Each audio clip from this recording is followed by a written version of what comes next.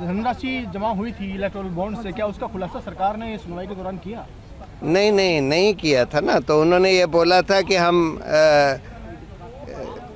एक interim order था। को आप सुन रहे थे, वो बता रहे थे कि इस फैसले से आने वाले वक्त में कितना असर पड़ेगा और एसबीआई को सारी जानकारियाँ चुनाव आयोग से साझा करनी पड़ेगी और चुनाव आयोग को सारी डिटेल अपनी वेबसाइट पर साझा करनी पड़ेगी लोगों के साथ, यानी 2019 से अब तक इलेक्टोरल बॉन्ड के ज़रिए किस पार्टी को कितना चंदा दिया गया है, ये पता लग सकेगा। आम इंसान भी ये पता लगा पाएगा। कुमार विक्रांत का, जल्दी से रुक करते हैं। कुमार, कांग्रेस की तरफ़ से क्या रिएक्शन है? सुप्रीम कोर्ट का निश्चित तौर पर यह बहुत बड़ा फैसला है।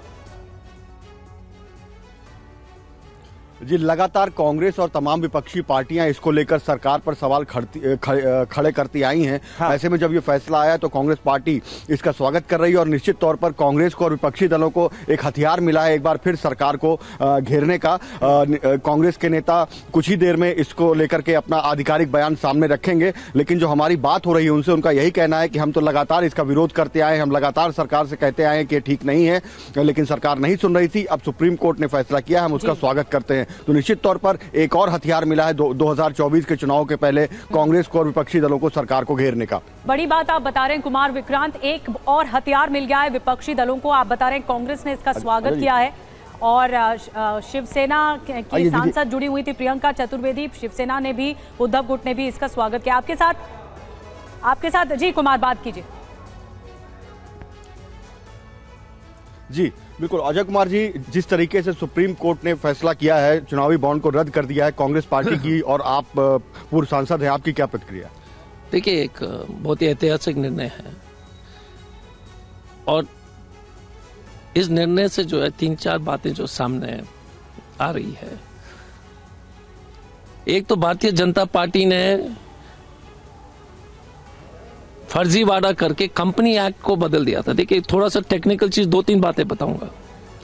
कंपनी एक्ट में स्पष्ट रूप से बताया गया था कि आप अगर किसी तरह का राजनीतिक जो है डोनेशन करते हैं तो आपको उस जो है सार्वजनिक सार्वजनिक करने की आवश्यकता है। पहले, मोदी जी और उनके सरकार ने इस इस सेक्शन को हटा दिया। पहला मतलब कोई भी कंपनी अदानी जी और कुछ भी पैसा दे सकते हैं, अपना और फिर माइंड ले सकते हैं, लेकिन आपको जानकारी नहीं मिलेगी।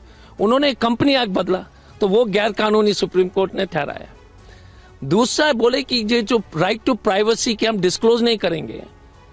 इलेक्ट्रोल बॉन्ड में सुप्रीम कोर्ट ने कहा कि जब आप इतने बड़े रकम ले रहे हैं बड़े बड़े उद्योगपति से फिर तो आप इस देश की जनता के ऊपर जो है अत्याचार करने के लिए उसका कोई आई मीन अब आप किसी उद्योगपति अगर कोई पैसा दे रहा तो कोई अपना काम कराएगा सरकार से? तो ये देश की राजनीति के ये लोकतंत्र के लिए अच्छी बात नहीं है। दूसरा दो इश्यूज़ हो गए। तो राइट टू प्राइवेसी जो है ये मान्य नहीं रखता है क्योंकि अगर आप राजनीति में इतने बड़े पैमा, पैमाने में पैसे दे रहे हैं तो उसका दुष्प्रभाव जो है वो इस देश के लोकतंत्र पर भयंकर होगा। दूसरा कंपनी एक्ट में आपने जो है, आप देख लीजिए, कंपनी किसी को भी दे सकते पहले हमारे समय में वो सार्वजनिक करना पड़ता था। बीजेपी छुपाने के लिए एक संशोधन ले आए कंपनी एक्ट में, वो भी गैर कानूनी तीसरा उन्होंने कहा कि 2019 से जितने भी इलेक्ट्रोल बॉन्ड है, आप सार्वजनिक कीजिए इलेक्शन कमीशन को कि किस किस ने क्या दिया है। इस देश में एक भूचाल इसलिए आएगा कि उद्योगपति करोड़ों लेकर के जो या तो किसान को दबा रहे हैं आदिवासी को दबा रहे हैं या मजदूर को दबा रहे हैं माइंस लिया जा रहा है। क्योंकि कोई भी उद्योगपति एक हाथ में देता है और दूसरे हाथ में जो है करोड़ों हाथ उखाड़ के ले जाता है। उद्योगपतियों से चंदा तो आप लोग भी लेते हैं ना सार्वजनिक कीजिए हम तो बोलते हैं कि हम लेते हैं तो उसको सार्वजनिक नाम बताइए।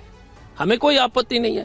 पच्चीस हज़ार के तो जो है आपका पच्चीस हज़ार वाले को पॉलिटिकल पार्टीज़ का डोनेशन को तो कुमार के बता रहे थे कुमार विक्रांत के साथ कि ये जो फर्जी वाड़ा चल रहा था इस पर नकेल कसी गई है सुप्रीम कोर्ट के ज़रिए। स्ट्राइक डाउन किया गया है। इलेक्टोरल बॉन्ड को ही पर ही रोक लगा दी गई है। इसे अनकॉन्स्टिट्यूशनल बताया गया असंवैधानिक बताया गया।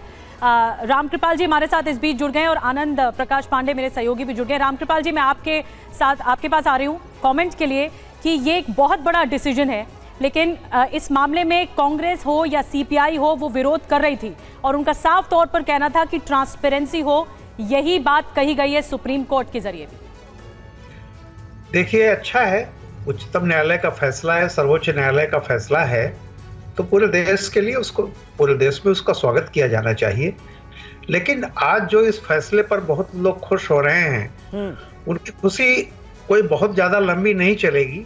क्योंकि ये फैसला किसी एक पार्टी के पक्ष में नहीं है न विपक्ष के पक्ष में है न सत्ता पक्ष के पक्ष में है। ये ट्रांसपेरेंसी का मामला है। और इस देश में देखिए हमें भूलना नहीं चाहिए कि जो इलेक्टोरल बॉन्ड लाया गया था वो इसलिए था कि काले धन का उपयोग इतना बढ़ गया था। जी। आज अजय जी जैसे कह रहे थे कि सब कुछ बहुत अच्छा है तो क्या ये कांग्रेस कह सकती है कि काले धन का उपयोग नहीं किया गया था? किस किस तरह सब कारपोरेट वर्ल्ड एक बात तो आप जान लीजिए कहने के लिए होता है देखिए जीतने वाले घोड़े पर ही सब लोग दांव लगाते हैं ये जनरल नियम है। जो सत्ता में बैठा हुआ है जिसको लोग देखते हैं चाहे वो कारपोरेट हो चाहे जनता हो आम जब उनको लगता है कि ये सरकार सही काम कर रही है और यही सरकार आने वाली है हाँ।